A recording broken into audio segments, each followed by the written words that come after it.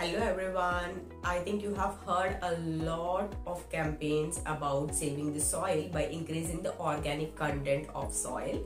Growing organic food is one of the crucial ways to replenish the soil nutrients and to prevent soil erosion. The next question coming into your mind might be what is the difference between organic food and other foods? Let me quickly take you through it. In order to label a food organic, it should be free from artificial food additives like artificial sweeteners, preservatives, coloring agents, flavoring agents, etc. Organic foods are usually grown or cultivated without using any kinds of artificial chemicals, antibiotics, hormones, or genetically modified organisms. These organic food cultivation helps improve the soil quality and conservation of groundwater. It also helps reduce pollution and hence safe for the environment. The most commonly grown organic foods are fruits, vegetables and grains. Various researchers have proven that organic food are having higher concentrates of iron, vitamin C, magnesium and phosphorus compared with non-organic food as the organic food are not being used fertilizers they also have high concentrates of antioxidants in them.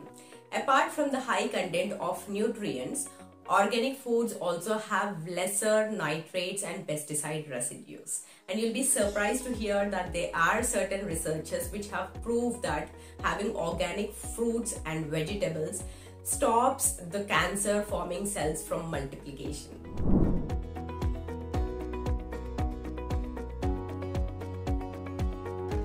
Organic farming opts for crop production without using any kinds of agricultural chemicals, hence minimizing the reliance on toxic substances.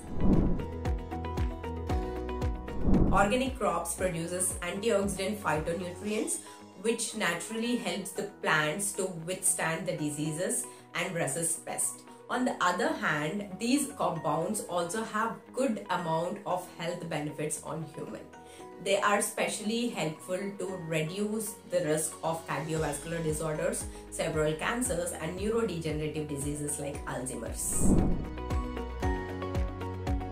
Organic food tastes better than the regular food because they're not cultivated using any kinds of artificial chemicals, fertilizers or pesticides and they're also given enough time for growth and uh, maturation due to which the vitamins and mineral levels are on the higher side in organic foods compared to the regular foods. Organic foods are free of genetically modified organisms.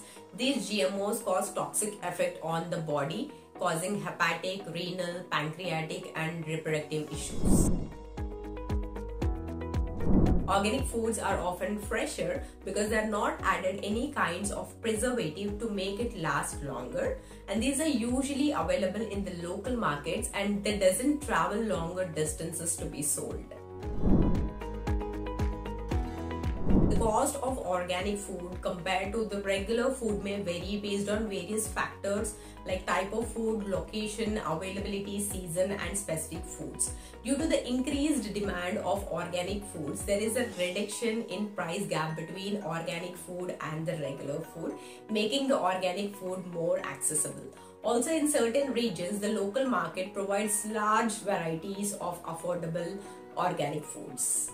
Considering the long-term health benefits of organic foods and also as they're environmental friendly, reducing the pollution of air, water and soil, opting organic food over commercially grown uh, foods can contribute to a healthier lifestyle. Eat healthy and stay healthy.